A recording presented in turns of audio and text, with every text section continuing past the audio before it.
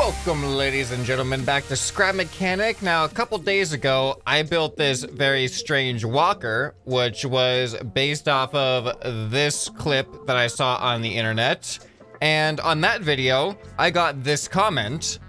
So I went to look up what that was, and I found this clip on the internet. In this video, we are focusing on this thing, which is the attack track, apparently. Which, when you're looking at how it works, on this extremely old grainy clip that I found from a commercial back in like the VHS days, is this thing a tank or is it a walker? I think kind of yes to both. It's it's a walking tank, essentially, the way that this works. Now, it's really hard to see exactly what's going on in this video, but thankfully I found this image, which is a much higher resolution. So we can see in this image that inside these tracks is a wheel that has gear teeth on it, and it essentially runs along a toothed track that is contained within the tank tracks. So I'm anticipating that this is going to be a lot harder to replicate than the previous walker that I built because we don't have fine-toothed gears like this in Scrap Mechanic. I'm gonna hope I can make this work without the need for those teeth at all. And uh, we're just gonna see what happens with it. I'm anticipating this to give me a lot of trouble as I try to replicate the motion here. But we're gonna start off by just using a small wheel. I'm gonna build a proof of concept first before I build out the entire vehicle, and uh, we're gonna hope for the best. Let's see what happens. So kind of similar to that previous build that I just showed at the beginning of this video, uh, we are going to have to separate objects from the original creation because these tank tracks cannot be attached to the body. We're gonna have to have them get separated after it spawns in. So if we're gonna be using this wheel as our standard, I think the track is then gonna have to be one block higher than the wheel because it needs that space to roll around the edge. Uh, so let's just try to create an edge right here. All right, so now let's focus on making the curve, as curvy as Scrap Mechanic is going to let me make it. This did work last time. I don't know why I built this out of this material. What's the friction of this material? No, we're not using this material. We need higher friction. Okay, so I think that's the best I'm gonna get this curve. Uh, so let's just extend this back and see what happens with this. All right, so as I'm building this, I am noticing some interesting potential limitations. I put a glass wall on this side. The wheel is going to be just on this inside part here. Here, I need another layer to this actually. Uh, and I'm realizing that in order to keep the wheel in here, I'm going to need one block on either side. This should allow the wheel to rotate, I believe. The axle of the wheel should essentially ride along here and then ride along here as it goes around. But is this thing, did I make this too heavy? This probably has to be really light to flip around. How heavy is this block? Oh no. I might have to replace the concrete slab, which has high friction, with something lighter. Maybe I can make a wood version out of this, but let's just at least, let's just have a proof of concept here first. All right, I gotta start by building the base vehicle, and this thing is actually gonna have, potentially have tank steering. It, it is a tank walker after all. And now I have to figure out how do I get this on here. Okay, oh, look at the, oh, ooh, oh, this might be working. So if I do that, and then I delete this, there we go. It's a separate object now. Look at that. All right, this is promising. So now I can disconnect. I should have probably saved that as an object, but we'll figure it out later. All right, to keep things simple, I'm just gonna give it forward and back. I'm not gonna do tank steering yet. I just need to see what happens here. Okay, here it goes. Okay, that's what I was a little bit afraid of. Is it because they're too heavy? It's probably because they're... It's a combination of I'm too light, they're too heavy, I don't have enough force, friction, like... Mm, I really don't know what to do about this. Okay, let's try to make this as light as possible. Okay, I believe I have drastically reduced the weight of these things. Let's see if this makes a difference now. Oh, there was a start. Like, they lifted up a little bit. All right, what happens if I... Let's increase the engine power. Let's go faster. Oh! Oh! We got a thing to happen. Oh, it is so glitchy, though, but it's like... One side's working. Why isn't the other side working? These are identical. Oh my god, this is so glitchy. To be fair, I've seen some other videos. I didn't want to show too much of anybody else's video just for copyright reasons. I just showed like a 20 something frame clip from the actual commercial, so I don't think I'm gonna get hit for that.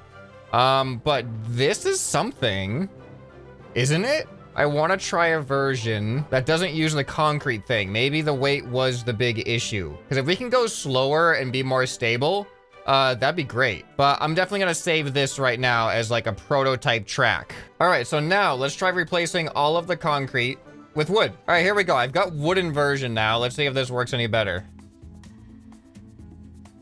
Come on. Come on. Come on. All right, do I need to go faster again? All right, faster. Why is it only the left side that seems to want to go? Oh, this is so... That's an issue. That is an issue. The problem is it doesn't it doesn't maintain friction as it tries to go over this part.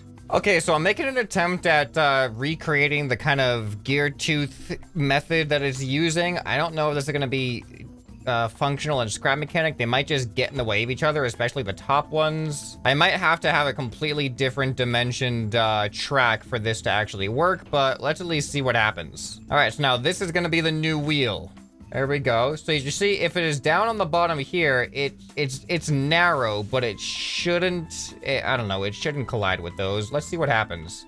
I'm definitely gonna put this really slow so we can watch it going. All right, that's not good.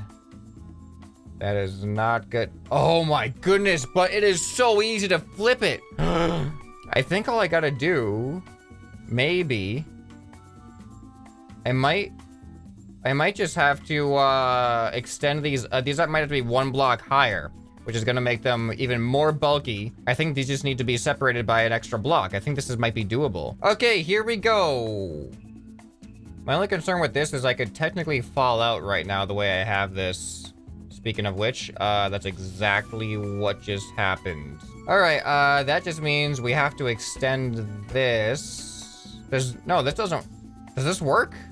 Okay, no, this is a problem because now when I detach this, it can no longer fall into the thing. Oh no, this is bad. Unless, what if I use small pipes for this? Okay, so now with the small pipes, it should stick out just enough to grab the... Oh, no, that doesn't work either.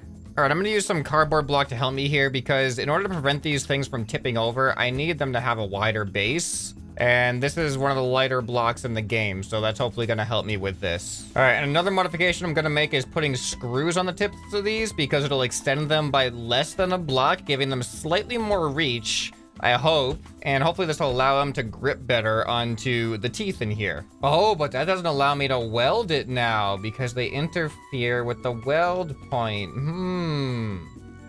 Hmm. I got an idea. I'm gonna change the teeth locations. All right, so I've changed the teeth locations, so now they are in line with each other vertically. I'm hoping that's not gonna interfere with anything, but it should allow me to weld this on here with the screws now. All right, yeah, see, now I can put the screws in between the teeth and they still have a weld point. Let's watch carefully as it, okay, no, nope. Oh yeah, that makes sense. That makes sense. Yep, still doesn't help. Exactly what I was afraid of is happening, which I should have seen coming. It's essentially trying to grip on both sides at the same time. Hey guys, look, I'm doing it. so we're just completely jammed up in the gears right now, but at least I have the torque to spin these things. So that's a I mean, that's that's a good thing. That's one good thing about this. I need to be able to move down the track though. Oh my goodness, I think I may have solved it. I had to create a new type of, just a, a custom tooth system. Because here's the issue I'm having is like, you see how this, it, it goes over and it seems to work, but if I hold it, watch what happens. It is now stuck like, it gets jammed in the teeth. But over on the other side, watch if we get over to the other side here. If I do this, I can kind of wiggle my way out. But now, if I go to this side, watch what happens. It keeps rolling. So you're probably wondering what's different about that side. Well, it's really hard to see. Let me go ahead and just open it up. I'm just gonna open up this whole side.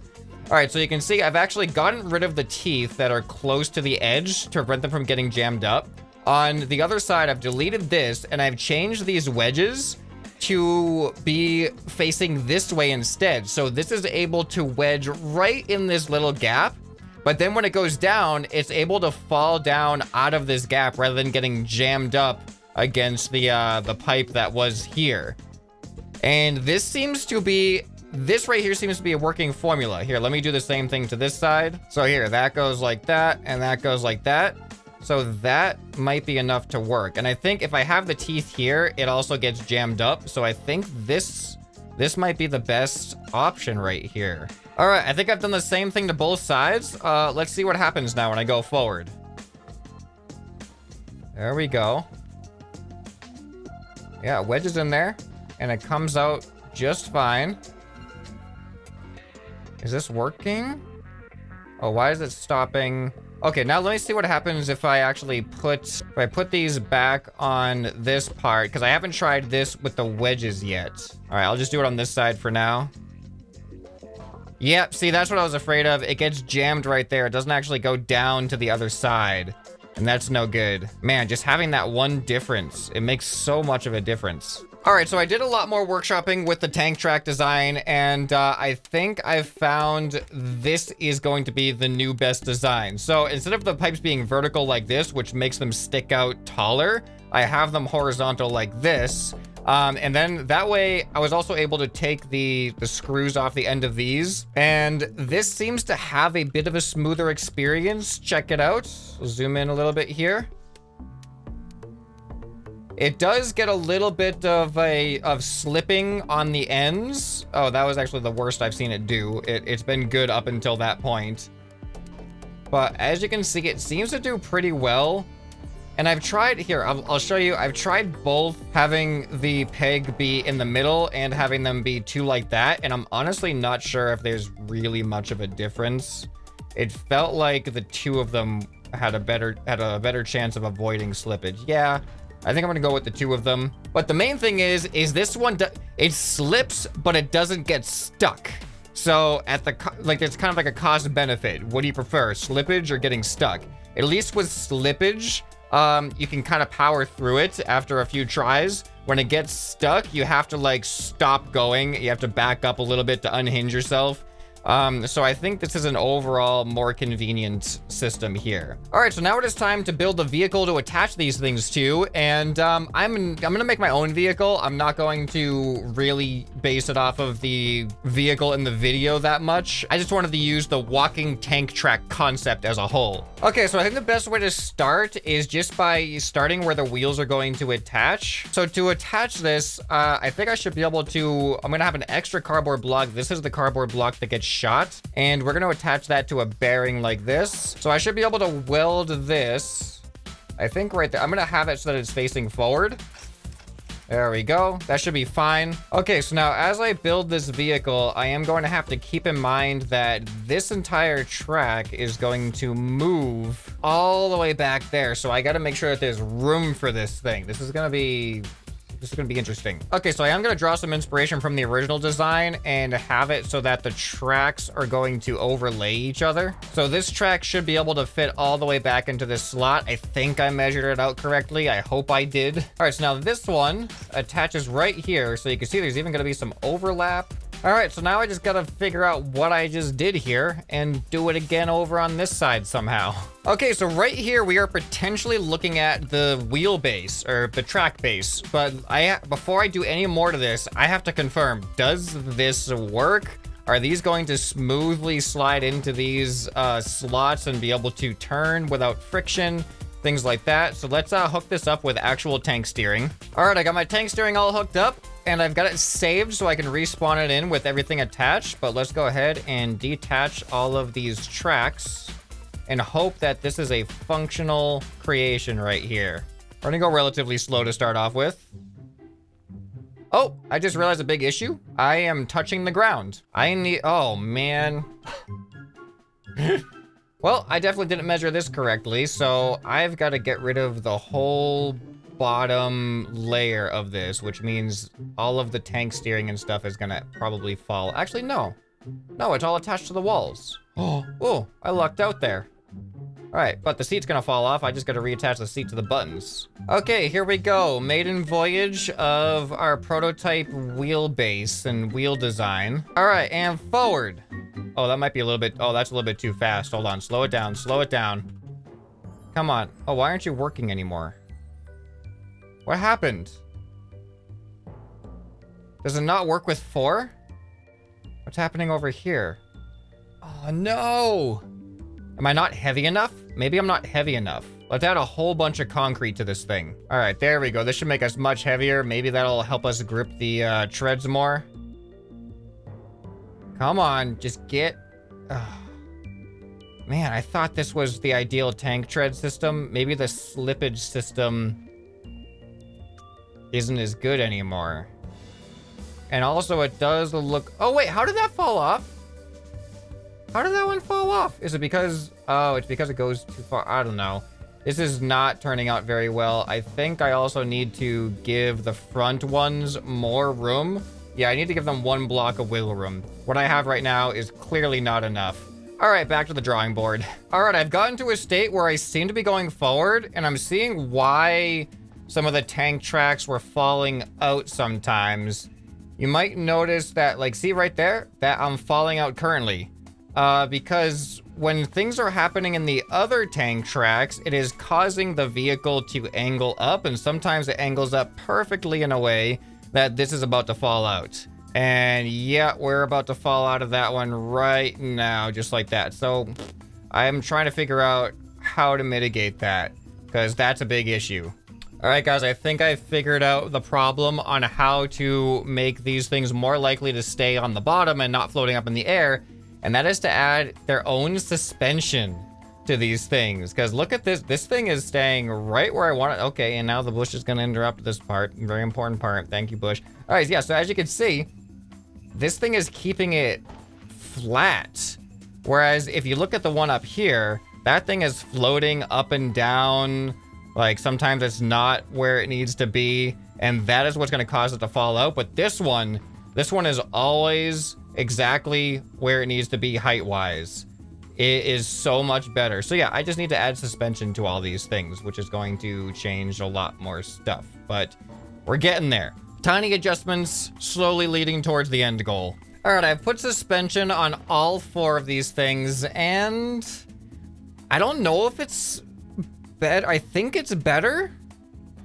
You do still see some of what I was trying to avoid, where it's it's kind of still lifting and hovering a little bit, even despite the suspension trying to do its thing. We have a pretty low ground clearance too, which could be part of the issue. I don't know. It's just, this is just such a weird vehicle, guys. Like, it's just, this is really weird. I haven't gotten any detracking with this version yet, so perhaps it's still an improvement. So let's just stick with this. I'm to build out the rest of it. I don't know what the rest of it's to look like, but let's build out the rest of it and see what happens. All right, so I've been building for a little while, and this is what I got so far. Uh, I got this thing, which is, well, I can't spin right now because I'm still on the lift, uh, but this is going to be a free spinning thing for whatever reason. I don't know. I just felt like there was a spinny thing that belonged there. Uh, I have a quad barrel futuristic looking cannon. I just found some random piece. It's got some pretty cool visuals to it. Uh, this is not going to be an articulating cannon. I don't want to get that complicated. It's just all about the tracks. I just wanted to have something that looks cool.